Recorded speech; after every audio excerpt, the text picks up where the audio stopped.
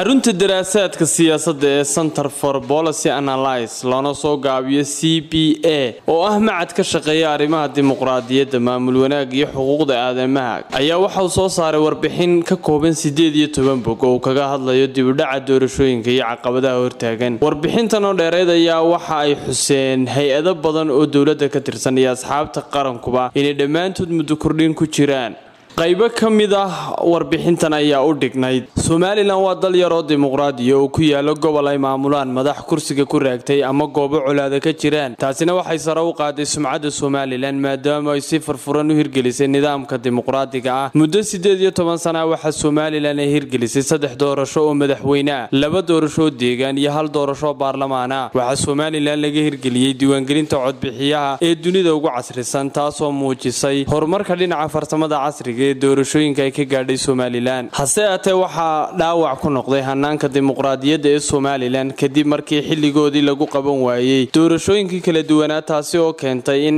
xafiisyada ay sii fadhiyaan xubnihii la doortay ama la magacaabay. Tusaale ahaan guddida ururada iyo asxaabta qaranka waxaa la magacaabay oktoobar labadii sida ku cad qodobka saddexaad farqadiisa lixaad iyo labiyo tobnaad. Waxaa wakhtiga guddida ururada iyo asxaabta qaranku yahay muddo laba sana. Ah haddii wakhtigoodu dhammaado waa loo cusboonaysiin karaa iyadoo madaxweynuhu leeyahay soo jeedinta golaha wakiiladuna ay ansixinayaan hase haatee xarunta c b a may arag go'aan ka soo baxay golaha wakiilada ee somalilan oo xilka lagu kordhiyay guddida ururada iyo asxaabta qaranka iyadoo wakhtigoodii rasmiga ah uu dhammaaday.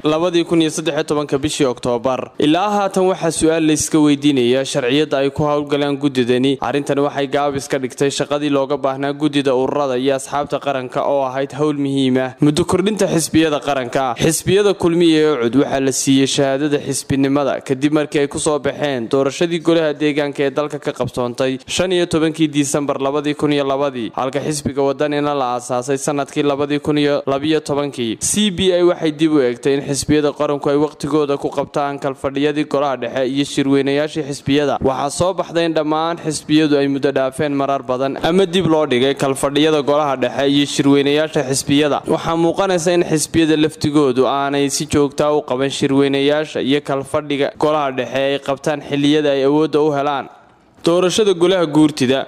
Golaha guurtida somalilan waxay beelaha somalilan soo xuleen sannadkii toddobiyo sagaashankii waxaana wakhtigoodu ku ekaa sannadkii labadii kun iyo saddexdii maadaama muddo xileedkoodu yahay lix sano. Hase aatee ilaa haatan wax doorashaa miyay gelin waxayna fadhiyaan golaha in ka badan labiyo labaatan sannadood. Golaha guurtida somalilan oo ka kooban labiyo siddeetan xubnood waxaa ku hadhay golaha xubnihii rasmiga ahaa ee la soo xulay sannadkii toddobiyo sagaashankii in ka yar labaatan xubnood. Xubnaha geeriyooda ama si kale uga baxa golaha guurtida waxaa lagu bedelay hab dhaxal ah taasoo keentay in xubnaha cusub ee ku biiray golaha guurtidu ay qaarkood ka yaryihiin da-da ku qoran dastuurka ee shuruudda u ahayd xubnaha golaha guurtida oo ah in da-diisu ka weyn tahay shan iyo afartan jir. Arrintaasi oo ka hor imanaysa dastuurka dalka ilaa haatan ma jiro xeer lagu soo doorto iyo mid lagu xulo golaha guurtida welina waxaa muuqata inay golaha sii fadhiyaan golaha wakiilada oo la doortay sannadkii labadii kun iyo shantii waxaa muddo xileedkoodu ahaa shan sano hase haatee shan jeer shan iyo toban ayaa loo kordhiyey. Ilaa haatana laguma heshiin.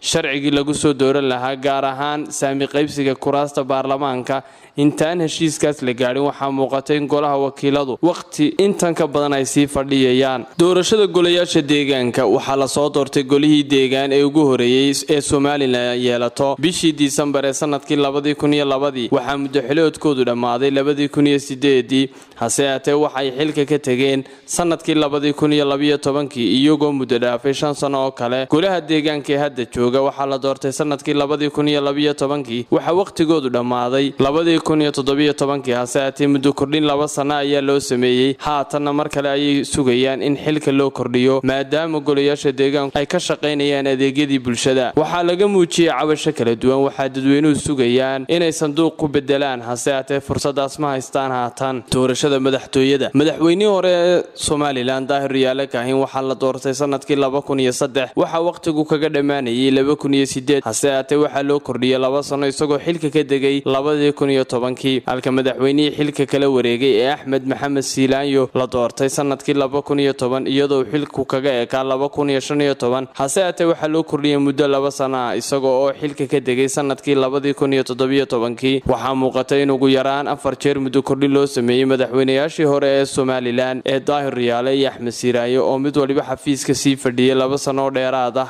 intii la doortay. Guddida doorashooyinka somalilan guddida doorashooyinka ayay hay'addu ku ammaantay inay tahay hay'adda keliya ee aan weli loo samayn. Wax muddo kordhina waxaana guddidii doorashay ugu horeeyey oo ka kooban toddoba xubnood la soo magacaabay sannadkii iyadoo wakhtigoodu dhammaaday waxayna xafiiska joogeen shantii sane ee sharcigu ugu qoray waxaana xilka kala wareegay toddoba xubnood oo cusub. Isla sanadkaas hase aatee guddidii doorashada ee labaad may dhammaysan wakhtigoodii shanta sane ahaa iyadoo khilaaf badan oo yimi iyo doodo soo gashay kalsoonidoodii ay keentay in xataa xubno ka mida ay meesha ka bixaan oo xubno cusub ku soo biiraan waxayna xafiiska baneeyeen sannadkii iyadoo shaqada uu la wareegay guddi doorasho oo cusub kaasoo isna xilka wareejiyay sannadkii guddida haatan joogta ayaa xilka la wareegtay sannadkii waxaana wakhtigoodu ku egyahay bisha noofembar ee sanadkan hase aatee xisbiga mucaaradka wadani ayaa sheegay inay kalsoonidii kala noqdeen guddida doorashada bishii maarj ee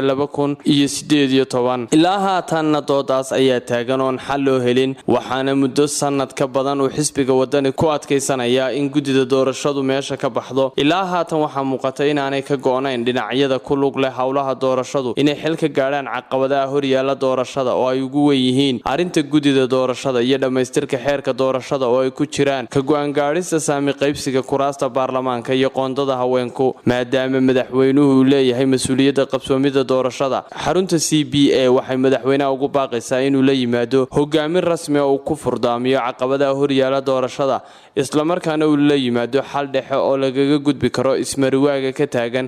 Oo ay ka mid tahay arrinta guddida doorashada iyo qodobada kale caqabada ku ah qabsoomidda doorashooyinka soo socda islamarkaana uu mudnaanta siiyo sidii ay doorasha u qabsoomi lahayd. Xisbiga wadani waxa uu xaq u leeyahay in la dhagaysto tabashada uu ka muujiyey guddida doorashada. Dhinaca kale waxay xarunta c b a ugu baaqaysaa xisbiga wadani inuu isna la yimaado xal dhexe oo lagaga gudbi karo ismariwaagan taagan islamarkaana uu mudnaanta siiyo sidii doorasha u qabsoomi lahayd